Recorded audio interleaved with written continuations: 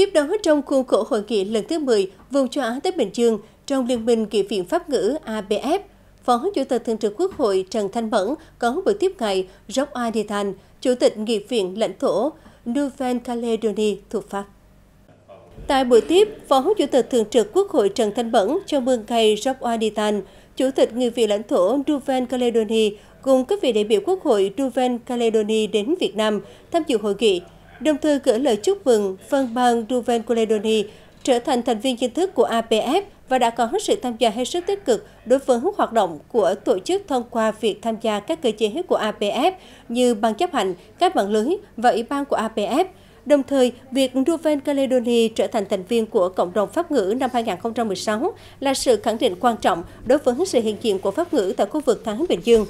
Đáp lại sự đón tiếp nồng hậu của lãnh đạo Quốc hội Việt Nam, ngài Jock Ditan, Chủ tịch Nghị viện lãnh thổ Nouvelle Caledonia đánh giá cao những đóng góp tích cực của Việt Nam trong Liên minh Nghị viện Pháp ngữ, đồng thời kỳ vọng thời gian tới, quan hệ hợp tác giữa Nouvelle Caledonia và các địa phương của Việt Nam sẽ tiếp tục được thúc đẩy mạnh mẽ và đạt được nhiều kết quả tốt đẹp.